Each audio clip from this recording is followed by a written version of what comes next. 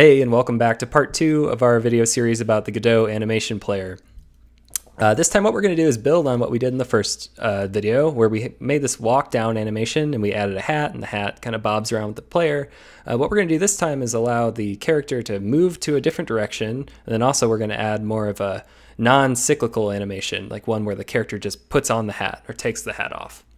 So let's expand a little bit on what we did last time. Uh, here we have our walking down animation. He's marching in place. It's great. Uh, what I'm going to do is add another track to our hat. Actually, it's something I kind of forgot to do last time, but um, we're going to address it now anyway. So uh, on our hat, I'm going to make another track. We'll select hat and then which property we want to animate. This time we're also going to do frame like we did for the character sprite. And that's because our hat sprite sheet has four different frames to it. And so when we're going to turn the character, you know, to the right instead of looking down, uh, we need to rotate the hat as well. And so uh, just to do a little bit of pre-work, and you'll see why in a little bit, um, I'm going to add a new frame here, and this time I'm going to make sure that it defaults to zero. Uh, the reason that's important is because uh, to make a new right side animation, you could uh, make a new animation and like recreate everything we've already done, but that can be kind of tedious. And so what I prefer to do is just duplicate what I've done. And so when I'm going to duplicate, I try to get as much done ahead of time so that I don't have to redo work in multiple animations after I run the duplication. So uh, to do that, I'm going to say animation and duplicate. And now you see that this drop down where we select which animation we're looking at, we have two of them. Walk down, which is the first one we made, and then walk down copy. So I'll select copy, and then if I hit animation again, you can rename it. Uh, we'll call it something like walk right. Now I'll just grab these duplicated frames and modify them to what we need. So when we were working on the down animation, we needed frames 0, 1, 2, and 3. Uh, but our right strip, part of the strip, uh, will start on frame number 4 and go up from there. So I'll change this one to 4. Next one, 5. I think there's a faster way to do this. If you know how, please post in the comments about it because this is just how I do it and I don't think it's the best way, but it gets the job done. Uh, so I've manually updated each one and now you see that the frames, if I start dragging this around, uh, they have been updated to our right facing animation. One kind of cool thing is that the animations themselves have the same pattern where the head bobs. And so the hat we've already duplicated from before the position track, so we don't have to redo that. It's already working. However, uh, the hat see this little like bell front thing on the hat is facing forward still. So when this animation starts, we want to grab this first uh, frame placement of the hat and make sure that that's on one because the right facing hat in our hat sprite sheet is on frame one. Now I'll play the animation and see that everything is set up correctly. Just like before, it was very minimal work to get to our right facing character. Now that we have two separate animations, we can actually put them into our game and show how we can switch between them using code. So we don't have any code for our character yet in this video, so I'm going to go ahead and select kinematic body 2D. Um, you know what, I'm actually going to rename him character. I should have done that before. Whoops. Uh, so now that he's named character, I'll create a new script by pressing this button, a new script button, and now it'll suggest character. It's just a little bit of a nicer name than kinematic body 2D. Um, and we have our new blank file. I'm going to get rid of almost everything. And now to grab our animation player and actually fire animations off with code, uh, you just select the node. And go Godot way to do that, you can say dollar sign and then the name of your node. So dollar sign animation player um, dot play, pretty simple API. And then in here you pass in the name of your string and see it even is smart enough to kind of autocomplete the Godot knows the animations we have defined in our animation player, and so it's suggesting them to us. So when this node uh, fires its ready event, when it you know enters the scene for the first time, like we've talked about before, uh, we just want to play this walk down animation.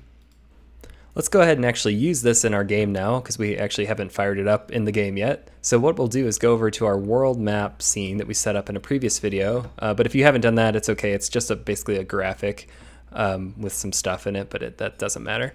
So we'll right click on a Y sort that we have ready to go here, add um, instance child scene, and we'll pull up our character scene that we created and just drag him somewhere in here.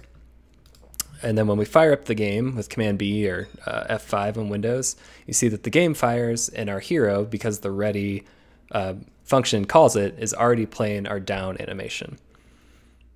Hopping back over to our script now, uh, let's actually make them more interactive. So we'll go ahead and add in our physics process Uh, thank you, Godot, for auto completing. And then we'll say if input dot is action just press. All I'm going to do is add like if you press the right key, it's going to change to the right animation. If you press the down key, it'll change to the down one. Pretty basic stuff, and then we'll go on from there. Uh, so if you press, let's do down first. So press the down key. Um, we'll do what we did before, which is animation play walk down, and then kind of copy this logic. Uh, we'll throw in like else if here. Uh, so if this one's not true, it'll check this one. Uh, UI right, and then the opposite case will um, walk right. So now when I boot up the game, uh, when I press the down key, it'll switch to the down one. When I press right, the character will start facing right. And I can just keep toggling back and forth, and you see that everything on the screen reflects the same stuff we saw in our animation player preview. Now let's cover the case where maybe you want to do something that's not cycling all the time, like the walking animation where he's always walking. Uh, let's add an animation where the character takes off the hat or puts it back on. And this will like show us some kind of new concepts that you can do with the animation player.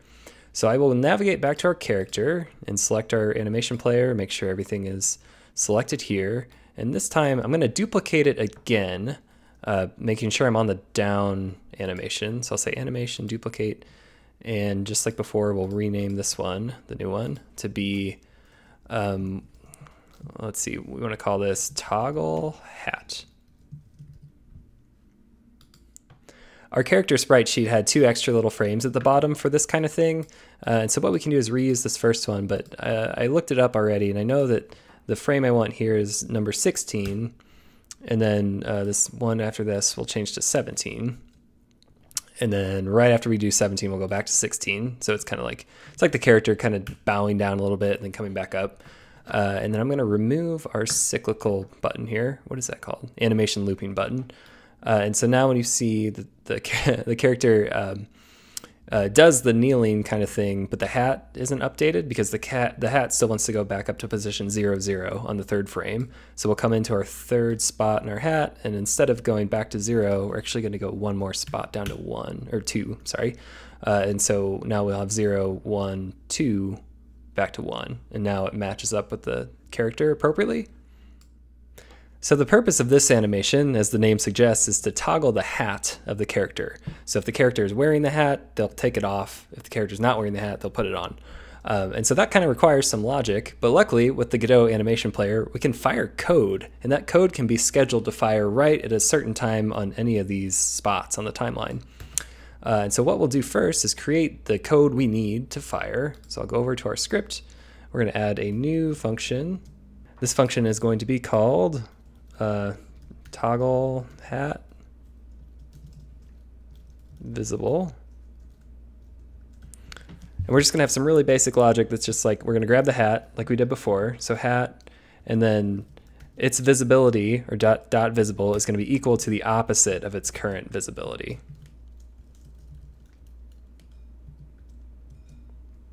Now we can use Godot's animation player to fire this method whenever we want, uh, preferably somewhere appropriate in the animation cycle. Down here, our animation player is still open, so I can add a new track. This time I'm going to choose call method track, which allows us to choose a function or a method of code to run. Uh, this code lives in our character script, so I'll have character highlighted and say OK. And now that gives us a new function track. And when I uh, create a stop here, I get this new pop-up, and the pop-up you can see already knows the code, like the methods available in our, our character. And so the one that we created, toggle hat visible, is right here, ready to go. You could also like redo ready if you wanted. I don't know why you do that, but you could. Uh, so we'll choose toggle hat visible, say open, and then right at this spot, um, when this happens in the game, our uh, visible or toggle hat visible method will fire right when the animation hits this spot. Making it visible, let's go back to our 2D editor so we can see, I think where we want it is like right here. Um, this isn't going to be a perfect animation, but you get the idea. And to actually fire it in context of the game, we need to add it to our character script as well. So I'll go back to character. Um, we'll add one more of these um, cases, and we'll say UI accept, which is like our space or enter button. We're going to say um, toggle hat. I'll space this out. Now when I run the game, our right and down still work, but I press the space bar and the character takes the hat off, and then if I press it again, he'll run the same animation, but this time put the hat on during that same frame. The other kind of cool thing is that now our hat being visible is kind of like a little piece of state. Uh, so I can walk to the right with the hat on, walk down with it on, take the hat off, and then right um, be walking without it and then down again and he's not wearing the hat. So like we talked about before, if you have a game where you can like unlock pieces of clothing for the character, maybe like uh, pieces of armor in Mega Man X or something like that, uh, you can just toggle those pieces on and off or swap them out with whatever you need without needing to redo the animations every time. Okay, that wraps up the end of our little video series about the Godot animation player. Uh, we've covered a lot of good stuff as far as creating animations, uh, automating and animating different types of tracks, uh, and then firing those animations with code. There's a lot more you can do there too. There's some other different, more like functional, less manual ways to choose which animation should be playing right now, and we'll definitely maybe cover those in future videos. Uh, let me know in the comments below if you're interested in that kind of thing. But I personally, I've just loved using the animation player. The game I'm working on right now, uh, each character in the game has like a ton of animations, and so it's really important that I stay organized and that those animations are easy to come back to later to edit and modify things. Otherwise, things just get absolutely out of control. So the Godot animation player has made that really easy for me, and it's really awesome. Thank you so much for watching. If you're into this kind of thing, please hit the subscribe button. Uh, if you want to tell us about the game that you're making, hit up our Discord channel, links in the description below, and I'll catch you all next time.